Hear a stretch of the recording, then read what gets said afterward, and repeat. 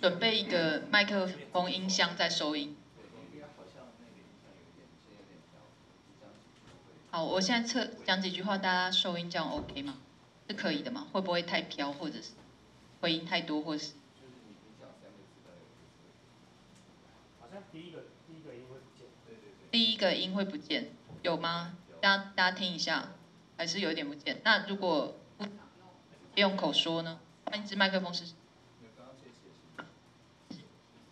社会发展部为提升我国整体通讯人气，拟定并持续推动建设海陆空地一面通讯网络，强化有啊，还是有票。你看，强化通传网络防护及普普及通讯宽频网络建设三大策略，确保我国通讯网络与经济状况是仍有可用且安全之通讯网络。发音的第一个字会第一个字要有发语。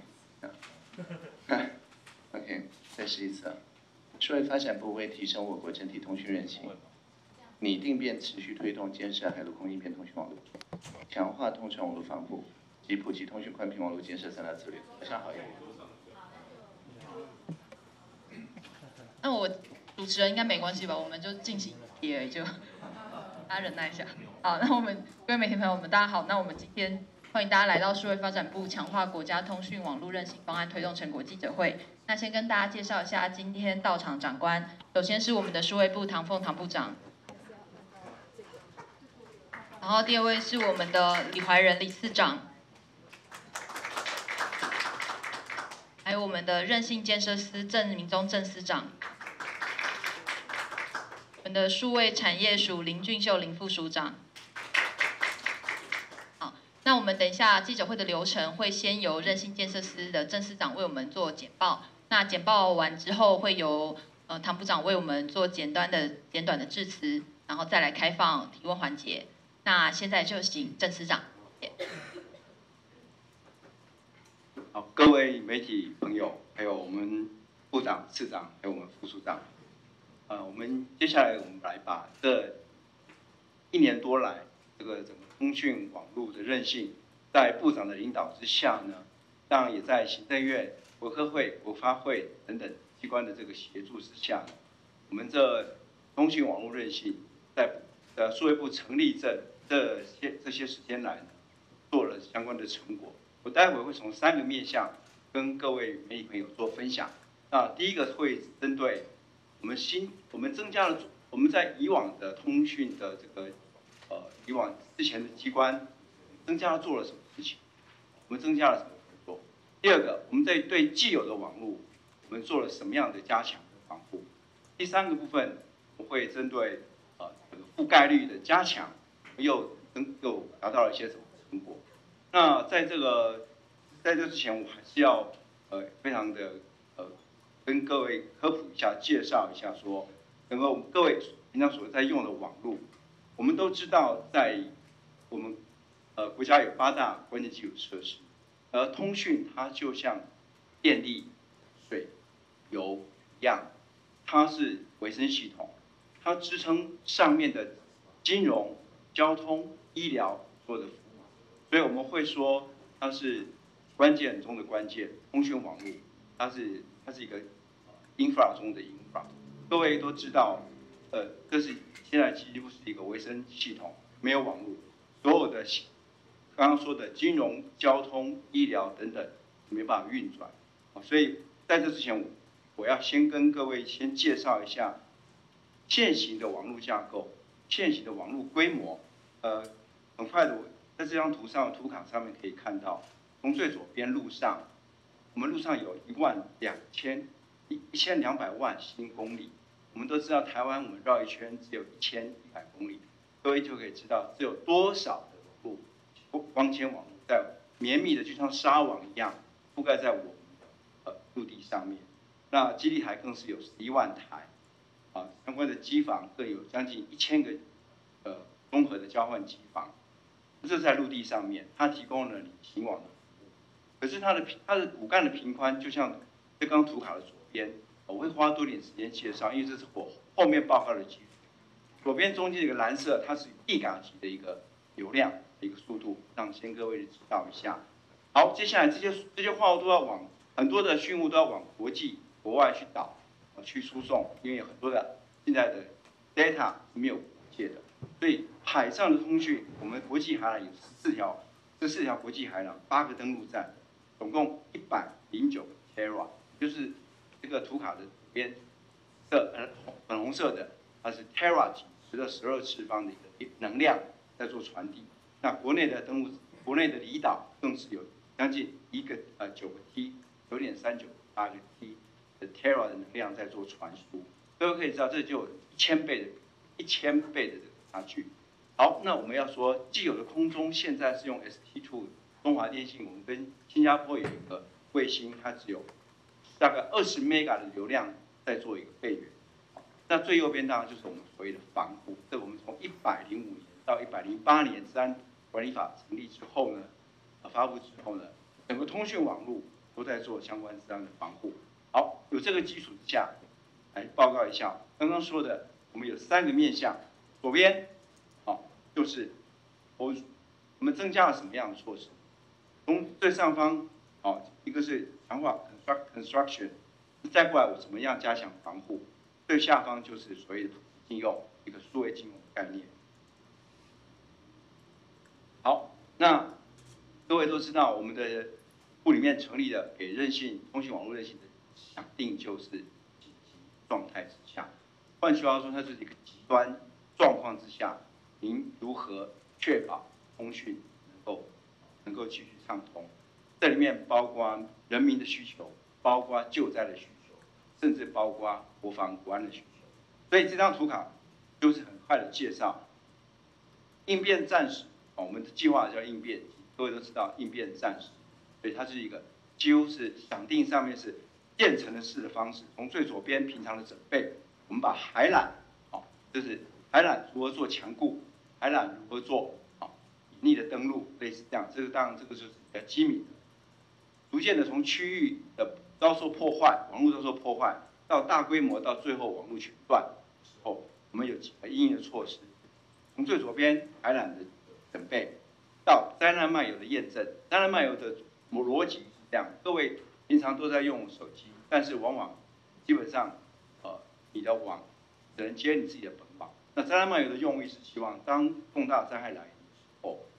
你的手机的 SIM 卡，即便不是你的本网，比如说我是中华。可是我收到只收到远传的网络，一样可以打，就是一个 roaming 的概念，但是它是一个灾难发生的时候的特别途径，就是强制漫游的概念。那第二个，当大规模网络进行中断的时候，我们要进行救灾，这个地方有叫做 PPDR 公共安全跟救难应变，这个作业的方式是这样，我们透过也是一样，三家现在目前三大电信的网络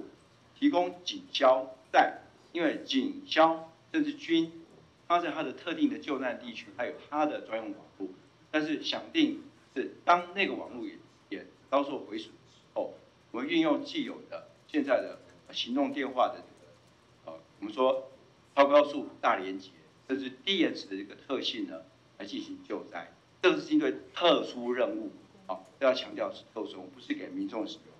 好，那大家接下来就耳熟能详，我们都知道，我们部长。在我们成立的时候就已经接了我们有七百个七百个点的这个所谓的呃非同步的卫星，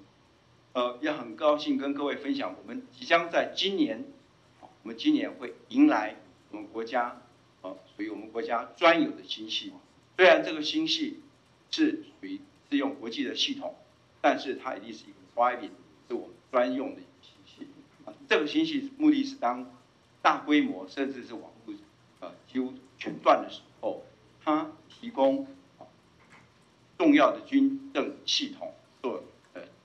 做这个指挥系统通话，然后甚至做会议，这个可能一时之间要提供给民众会有点困难。这个先跟这边做说明，我们再做验证。那最后我们希望把五 G C、五 G 的云，哦，因为大家都很习惯用手机，所以手机的核心的交换机它很可能。很可能就像海缆一样被摧毁，它的交换机房我们把它上云，这就是我们第一阶段，我们今年我们大概大概今年啊一百去年一百一十二年完成的任务。这边就是很快的啊，我们在去年的九二一，我们跟总统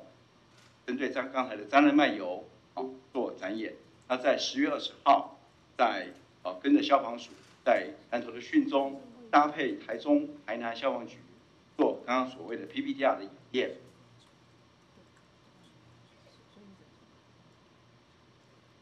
好，下一页。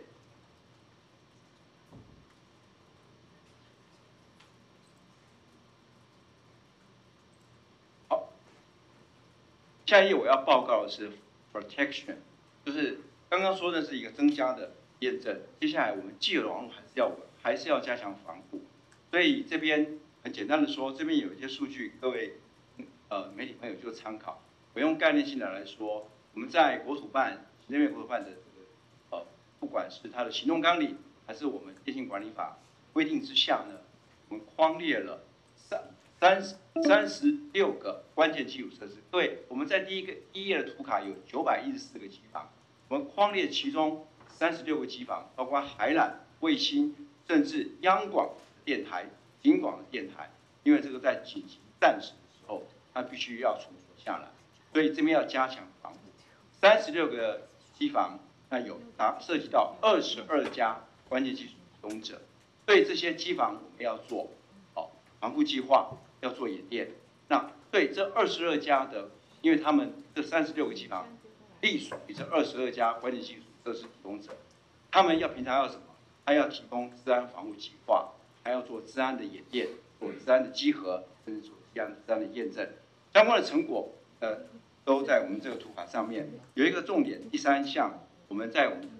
的部里面也有一个有一个这个国家通讯与网际安全中心，我们啊这个地方我们平常要做对网络做做呃状况，网络的这个应该说它的服务状况跟它的实体的状况做掌握，不是说不是对内容做掌握，要强调。那同时呢，有三 C 的平台在治安上面有。有治安的 CERT、SAC，还有这个 CISEC，这个就在做治安形式的分享。我们在去年一整年，对，其实二十四小时都有网络的攻击，对我们通讯网做不断的，可以说是用机器人的方式在做攻击。所以它一年的情资的分享达到七，啊，因为是七七十几万，七百七十几七十六万，减七十六万笔情资分享。这跟我们的其他八大关键基础设施，还有国家上面的 N 做形式分享，好，好，这是有关防护的部分。那最后一块，下一页，最后一块我们要还是要报告。呃，这其实是个延续的工作，但是成果也相当的会很相当的不错。呃，我们都知道整个刚刚所提到的这些网络，不管是啊行网、固网，甚至说卫星。它必须再加强的覆盖，才能让民众更加的禁用。所以普及通讯的的任务，就是一个数位禁用的概念。在这边，我们相关的作为，不但把机透过预算的补助，在去年增加，透过预透过补助的方式，加速加量的来建设一千四百一千四百七十七台。那更有偏乡的部分的建设，那偏乡有五 G 的涵盖，这是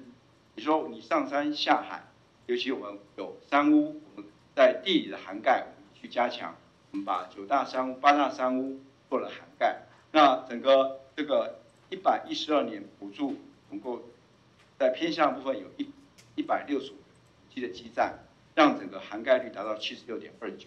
而普及服务的这个固网部分，我们把一百面能够延伸到八十八点四亿，这是我们去年非常重要的一个成果。那刚刚我也提到山区，山区更是。我们在救难上面，在救助上面，更是很多配合，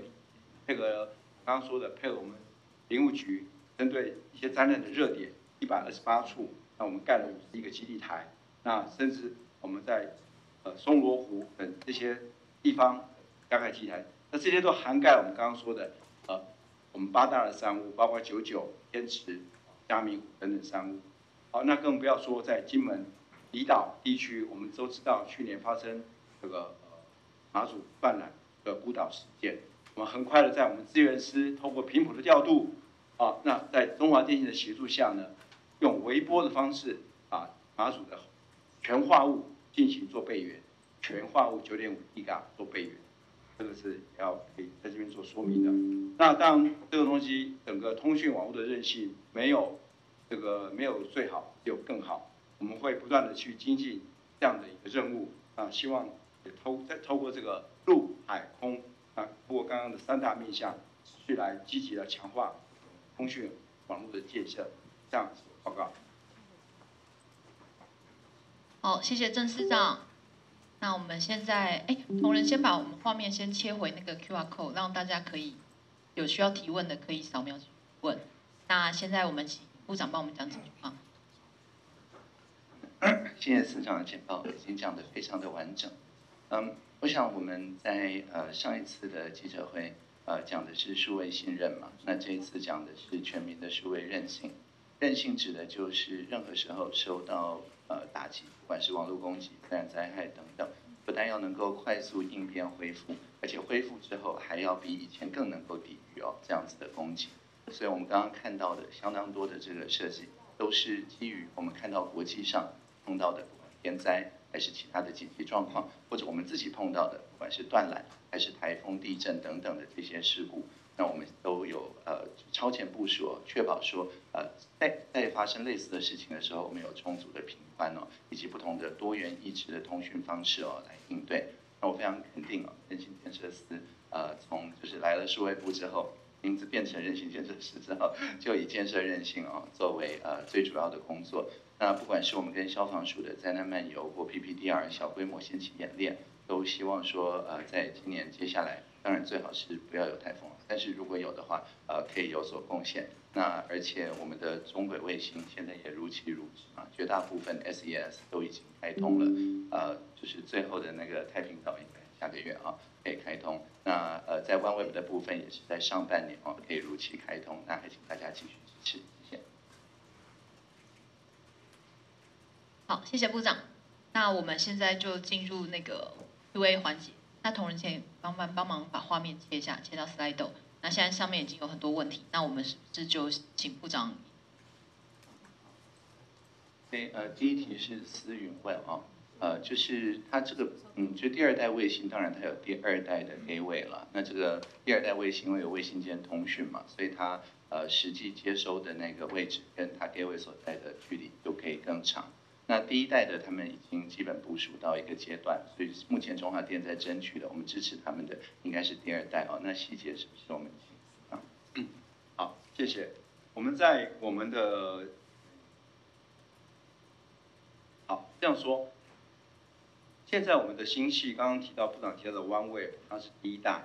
各位，第一代它其实在空中呢，呃，它们互相不通，它必须靠地面站。那现在地面站在日本、南日本、泰国跟关岛，各位，这就就像一个三角形的斜边，距离是比较远，所以我们希望在我们第二代呢，OneWeb 做有第二代的卫星，它不但在天空可以互联，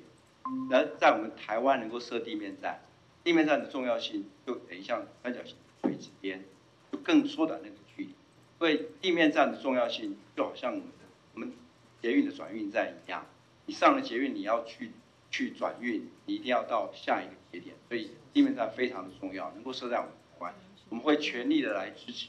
这个我们电信事业去争取这个所谓的第二代这个地面站的设置。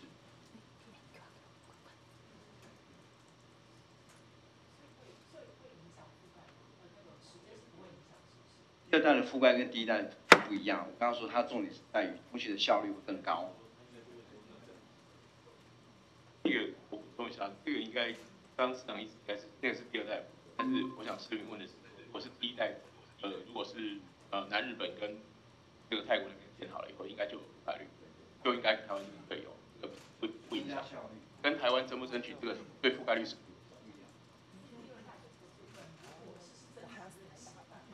对，那个是增强韧性跟增强台湾，增强台湾自己的资料的传输。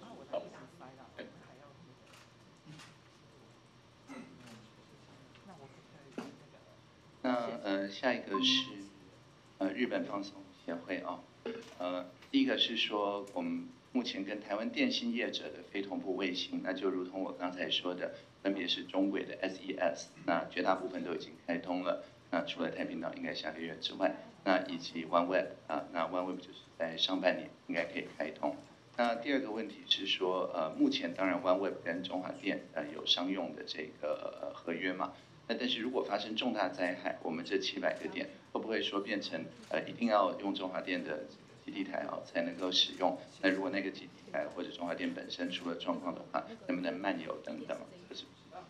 市长来回答。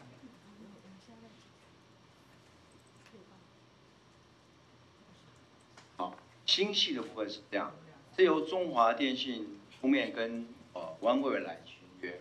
啊，当然当然是呃，我稍微补充一下，我们不会只有一个星系，未来我们会用多元意识的方式，就是有有任何其他的星系，我们都欢迎来加入我们台湾，加强它的通讯的韧性。哦，所以那这个跟在地面上的这个网络其实是不一样，因为我们刚刚说，我们有七百个是作为星系下来，就像你的 WiFi 一样，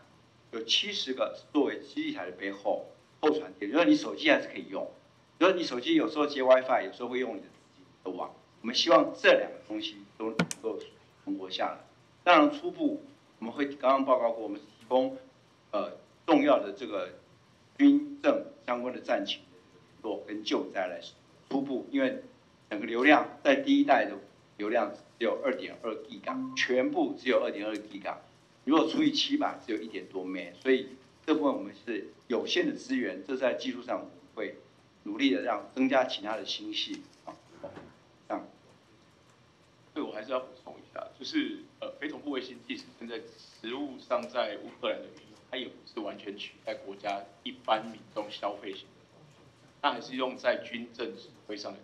所以这个概念上是说，如果您的问题是问说，如果发生重大灾害，其他电信商备援的时候，我们通哦非同步卫星应变网络可不可以提供政府指挥使用？那是，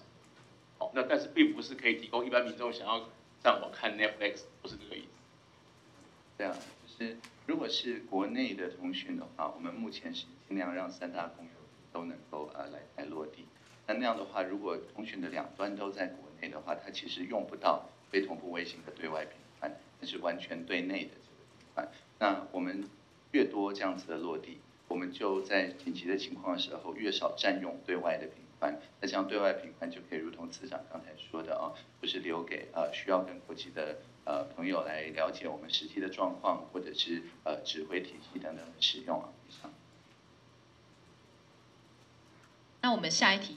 那我我现在就把题目念一下好了。那我们一电视的伊德提问说，对于呃有委员有本部推出的这个一一政府专属短码简讯平台，呃有被破解了，是不是有是有怎么看？然后对于呃委员对于我们市长有一些指教，那我们是不是现在先请部长说明台部分？我我想那是委员是一个问句了啊，就像呃我们呃有看到相当多新的委员都很呃关心嘛，就是。想要多了解一下我们的政策，那我想任何时候让我们有机会做这样的图卡就是好事啊。所以我们要不要看一下我们新做的这张？嗯，请同仁把那个图把它放大一点，等下部长可以解说。放大，把它放全荧幕。好，就放最大。我我想呃，它的一开始的问题是说呃一一一或者是别的短码啊，甚至一一九啊、一六五啊等等。那诈骗集团有没有可能传个简讯，然后呃冒充这个号码哦？那事实上我们是有层层把关的，就是一方面这个号码是在各个电信商都知道，一一它只能够透过我们数位部建制的这个共用的政府短码平台传过来的，它才用一这个号码哦发送出去，所以首先它的来源就已经有一个把关。那我们自己在营运这个平台的时候，也是确保说，必须要是公营事业或其他可以用共同供应契约的这些单位啊，包含台水、台电等等啊，才能够来使用。所以我们自己这边啊也有把关。那最后就是在国际的话务上面，就算其他的国家呃是有漫游过来的时候，它也是一，它前面一定会有一个加多少多少的那个国所以，实际传到这边的时候就已经不是短码了，因为再加上那个加号、国码等等，它又变长了哦。所以三码的这个一基本上是不会被仿冒，不会被骇客啊来篡改它的发话方。那至于说呃，就是委员也有提到说，那是不是类似像网址它放在尾端？那当然就是如果你传一个简讯，它的发话是呃什么零九呃零零零零零之类的，那它后面三个确实是一没有错了。但是我们在讲的是短码，就是它的长度本身是短于这种呃标准的尺码的这个简讯。所以大家呃透过这样子的机会，还是要大家提醒大家，就当然不是说它结尾是一就是政府发的，而是说它整个是短码是一就是政府发的哦。以上说明，看怀仁有没有补充？那个既然题目里面有问说打瞌睡，我还是要澄清一下，不管是那一天或者是天天，我都没有打瞌睡。呃，眼睛小不能打瞌睡化妆好。第二个，其实大家看一下这个图，我稍微补充部长说了一下。其实大家如果看到这个流程，大家可以看到，如果是走政府机关的话，因为它其实政府机关是把呃他要发放的对象跟他要发放的内容传到这个简讯平台，这个简讯平台经过加密之后会再传给电信业者，再到电信业者之后才会冠上一一这个解码出去。那所以按照这个逻辑。不管没有任，就是不管境内或境外任何一个人要想仿冒的时候，他把他的讯息。也也是要过电信业者，这个时候电信业者只要确定他不是来自于数位部的一一平台，就不会让他使用这个一一号。即使他的来源，即使他们很厉害的从它来源端就设定了一，他那个电信业，因为要断在国内的简讯一定要经过三大电信业者，他们也会把它挡下来。所以这是我们说为什么不会被仿冒的原因。这也是问这个也是后面有一个问题是说，大家如果如果简讯会被，如果这个短码会被仿冒，大家可能早就看过一一零。被仿冒或一九被仿冒，大家应该没有看过一零的被仿冒简讯或一一九被仿冒简，这就是短码简讯不会被仿冒的原因。这样大家补充说明。好，谢谢部长跟市长。那我们在下一题，同仁麻烦把画面又回 slide。那我们下一题，下一题是 TVBS 的刘婷婷记者询问说，关于这个方案是否会纳入今年汉光的实兵验证，有没有跟国防部讨论过？那第二题是 OneWeb 何时会上路？今年万安演习会不会能测试呢？是，我想不管是呃我们的挑选，呃国际上面包含 OneWeb 或 SDS，或者是在国内啊七百个点要怎么布置等等，这我们都持续的跟国防体系哦有有所讨论。这个是呃在一开始规划的时候，呃我们在刚刚讲到台风、地震等等，这个当然我们有做呃应变的准备。那但是其实就是在更加是。国防等级的灾难的时候，啊，他们会需要多少点，会需要多少频宽等等，这个我想任性思都持续在讨论中。那 OneWeb 的部分，我们呃就是刚刚有提到的，上半年可以上路啊，但是上面。基本上刚刚就像刚刚市长说的，我们这七百个卫星有配置给国防单位，那至于要不要纳入呃相关的演习呢，我们会跟他们再做密切的讨论，因为演练绝对是最重要的。只有不只有透过我们说这个演习，就像战战士一样，这部分我们会去跟国防讨论。那我们现在进入下一题。呃，自由时报子林有提问说，关于短网址服务已经被诈骗集团破解，还有委员这个一一简讯平台也遭到伪冒。那简讯平台部分，因为刚才已经说明，这样可以吗？我们就请部长先讲短网址部分，好不好？嗯，那立委之一那个后面也是问号了，就是问说有没有被破解啊？那没有，没有被诈骗集团破解。那就如同刚刚讲到的，就是零九零零零零零一后面虽然是一，但是当然跟短码的一是不一样的啊。那我们的这个 G O V 点 T W 这个短网址，大家看到那个网址，它一定就是呃 H T T P S 嘛，然后两个斜线后面就是 G O V 点 T W，然后再一个斜线，然后再短码的三码。那所以它在第一段就是呃第一个斜线左边，G O V 点 T W 这一段才是我们的这个短码啊，就是短网址。那当然就是它也可以有一个很长的网址，一点 L Y 斜线什么的一大堆，最后再加个 G O V 点 T W 啊，那那个当然呃就不是我们所发的这个短网址。那这个并不能说短网址遭到诈骗集团破解。应该是说，就像大家要刚要请大家宣传说，一一它是整个是短码，不是说后面是一一的也算是短码，不是这样子。对，同样的，就是我们的短网址 g o v 点 t w，它是在网域的第一段，并不是说它网域已经好几段了，最后再加上个呃问号 G O V 点 T W，那个也算我们发的。所以我想这个就是大家这个试诈的一部分了。呃，我想在这方面就是内政部跟署以及所有呃大家国家队都花了相当多的心力在试诈上面。那就是透过一次一次这样子试诈的宣导，让大家知道说诈骗集团所用的这些呃把一一也好，G O V T W 也好，放到最后面的这个伎俩，跟我们呃就是一就是整个短码或者 G O V T W 是整个网域，其实是完全不一样的哦。也请大家分享给大家。那我们进入下一题，那也是自由时报子的提问，就提到呃部长，我们数位部在 YouTube 有开一个免费课程，主题是跟 AI 有关，那想请部长介绍这门课的课程跟开课目的。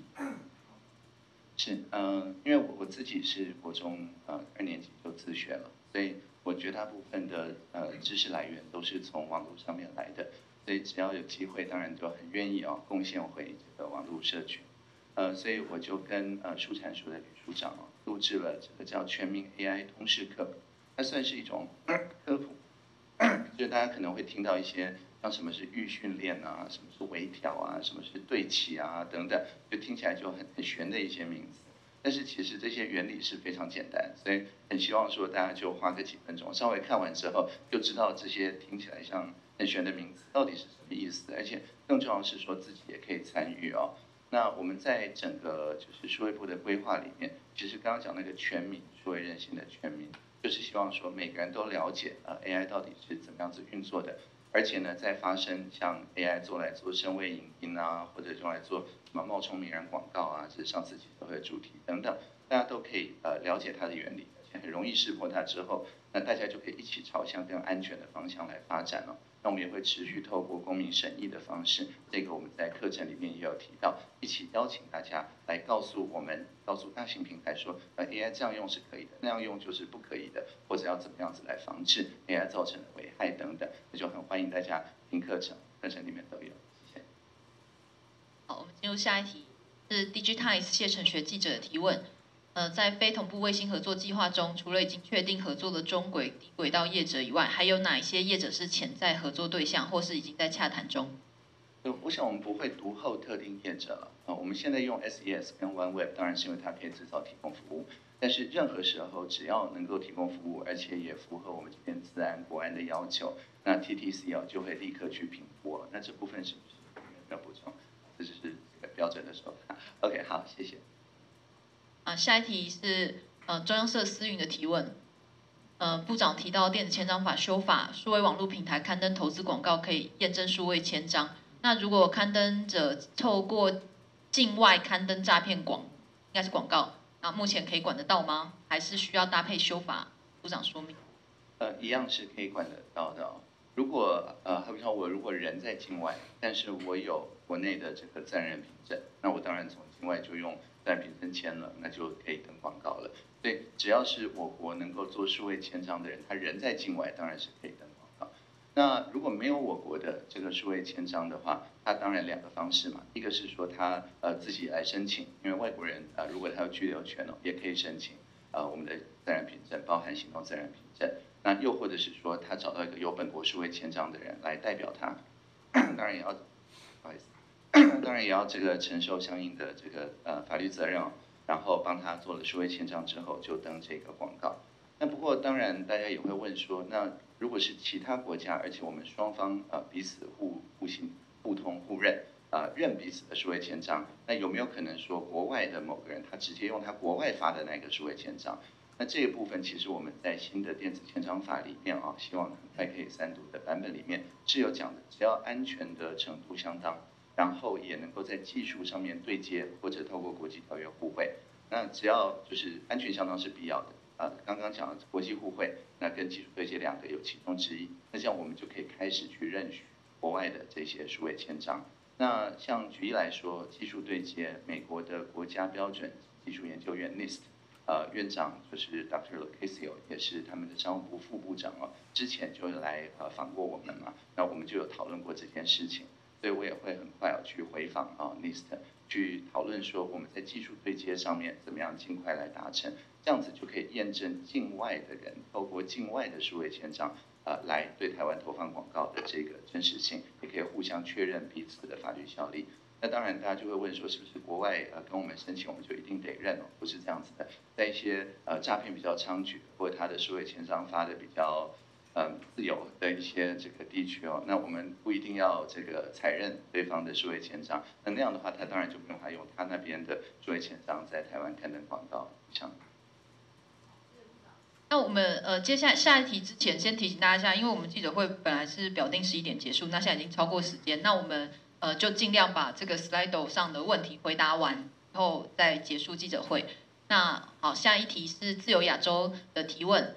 呃，说提到说美国、英国、纽西兰都先后受到与中国政府有关的骇客组织网络攻击，然后再来就是瑞典哥德堡大学发布的最新研究报告指出，台湾是全球受境外假讯息影响最严重国家，且已经蝉联十年榜首。那请问台湾是否也受到同一组织威胁？与相关国家是否有横向联系？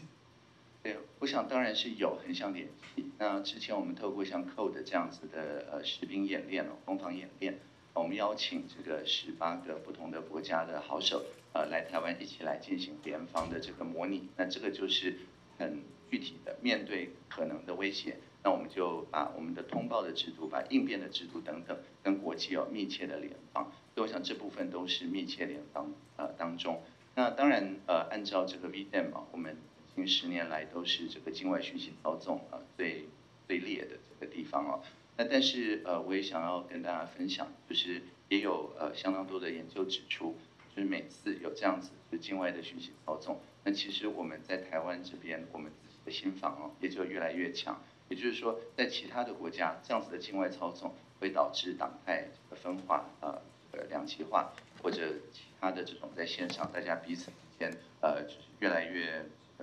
个性越来越重大，就是越来越呃彼此攻击这样子的情况。但是因为我们很明确的就知道说，哎，这个是这个境外敌对势力在操纵啊，所以因为这样子关系，反而我们这边不管是呃就是任何一个党派或者没有党派的朋友，有这样的情况发生的时候，我们自己的互信哦反而增强啊，这样。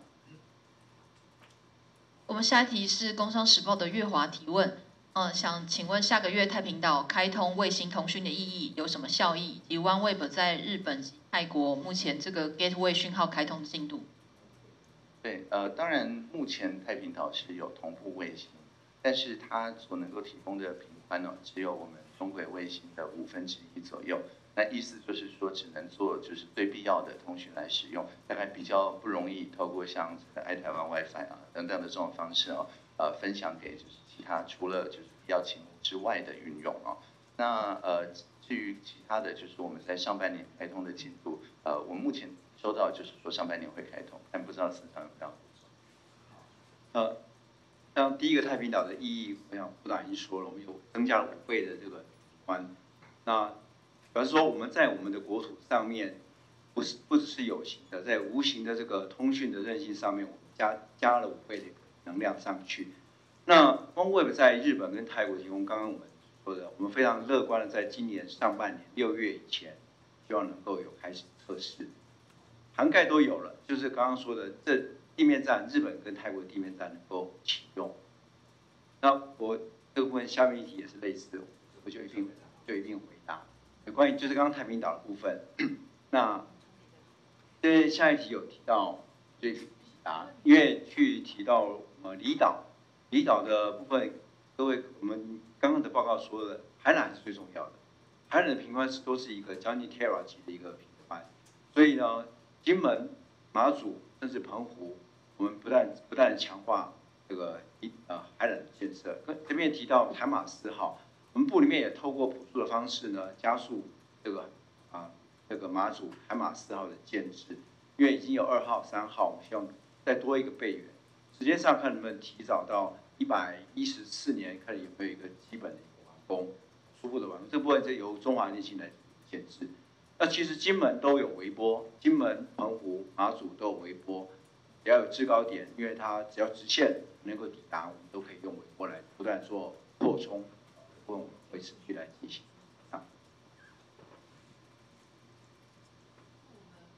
天的问题就已经全部回答完毕，那我们今天记者会就到这里结束，谢谢大家。那如果有需要记者会资料的，可以呃直接扫描 QR code，里面有新闻稿跟呃那个简报。好，那部长好，谢谢。那我们就下次例行记者会见哦。这次就是叫做例行记者会好，谢谢。我我们希望尽量可以两个礼拜左右开一次会，为大家说明一下我们目前政策进度。那时间确定了会再通知大家。